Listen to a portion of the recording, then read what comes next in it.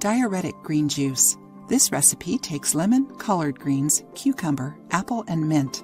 Write down the ingredients 1 cup 6.8 ounces cold water, 1 collard green leaf chopped, juice of 1 half lemon, 1 half cucumber unpeeled and diced, 1 apple unpeeled and diced, 1 handful mint leaves.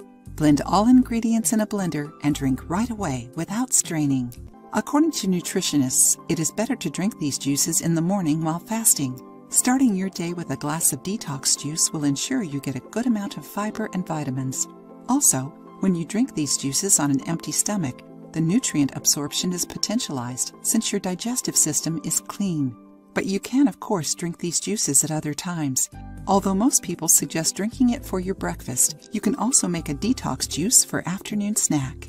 So, what do you think about adding these juices to your menu, which besides thoroughly cleansing your body will also boost your weight loss?